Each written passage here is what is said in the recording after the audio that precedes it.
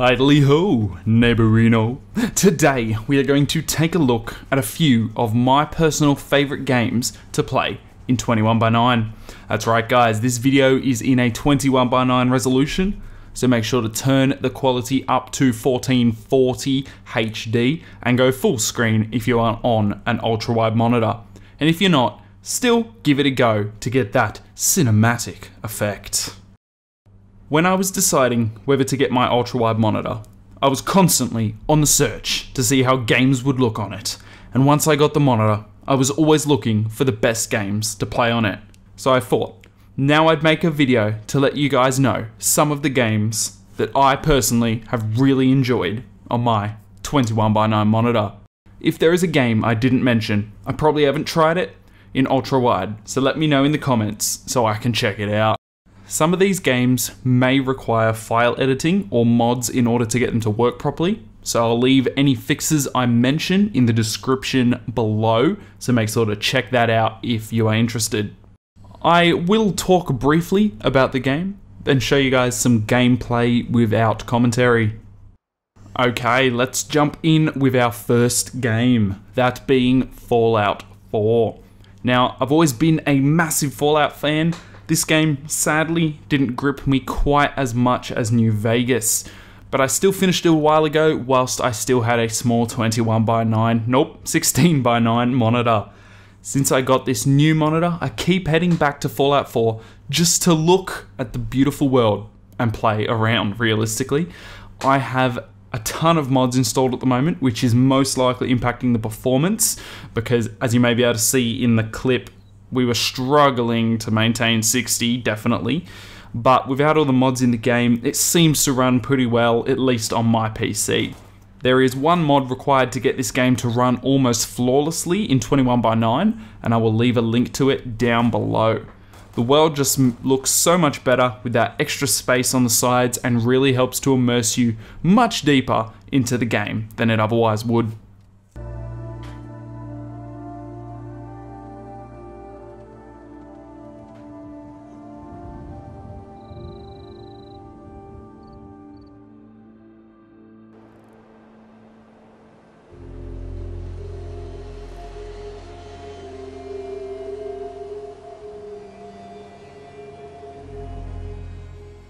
Next up is Grand Theft Auto 5. Once again, I do have mods installed for this game to make it look better since it is now a slightly older game. But my god, the 21 by 9 is so good. Whilst playing, the game natively supports 21 by 9 except for in cutscenes, which I have come used to by now because it's the case for a majority of games. Once again, 21 by 9 allows you to truly take in the beauty in the game world around you and I often find myself getting very distracted from the actual game. Just to look around, then I end up crashing my beautiful expensive car. This game seems to run incredibly well on my monitor and didn't really see any frame issues at all.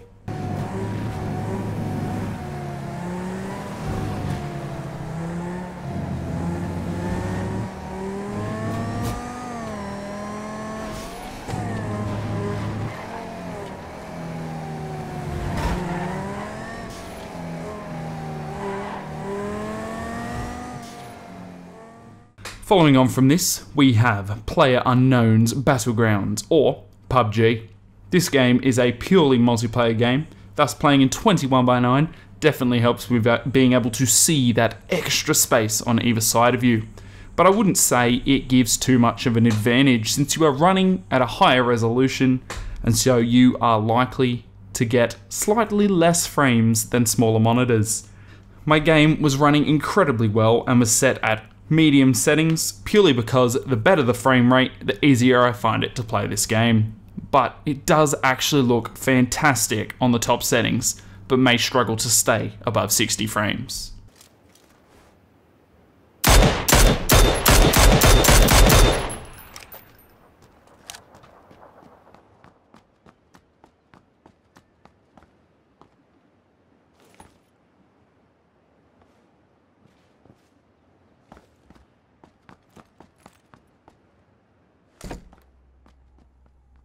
Dying Light is the next game. which again is just a beautiful game by itself. Then when you add the awesome 21 by 9 support, it is just great, mate. Besides cutscenes, the game runs at 21 by 9 with no issues and even seems to maintain a very hefty frame rate pretty much all the time. My favourite thing to do is climb up a tall building and just admire the game. The, the sun rays and all of that. And also kill any zombie that comes near me with one swift swipe.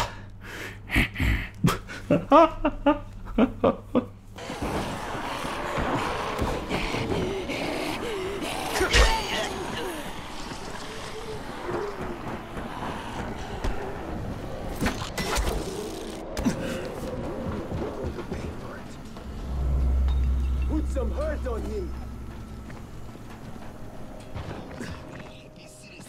The second last game on today's list is actually two games Metro Last Light Redux and Metro 2033 Redux. These games both natively support 21 by 9 all through the gameplay, but shrink to a weird almost 18 by 9 ratio during cutscenes. Luckily, these aren't too numerous. The games are incredibly immersive and will honestly scare you more times than once. I actually did a review on Metro 2033 Redux, which I will leave a link for in the description if you are interested. But the game does run incredibly well anyway.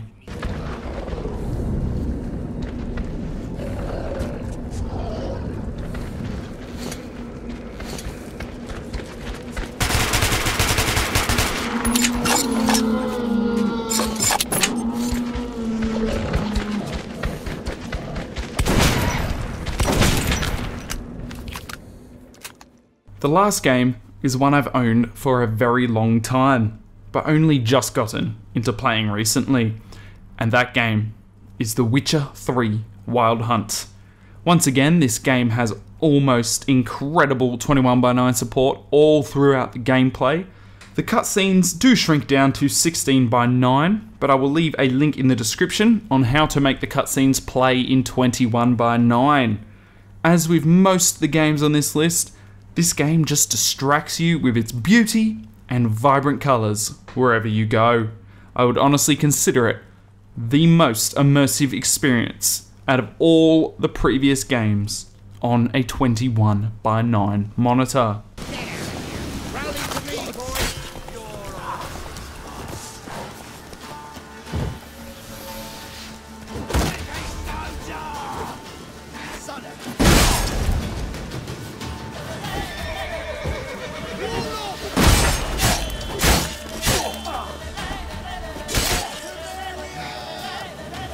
Anyway, guys, I do hope you enjoyed this little video, and I really do hope it helped out anyone who is new to the ultra wide master race or is looking to join sometime soon.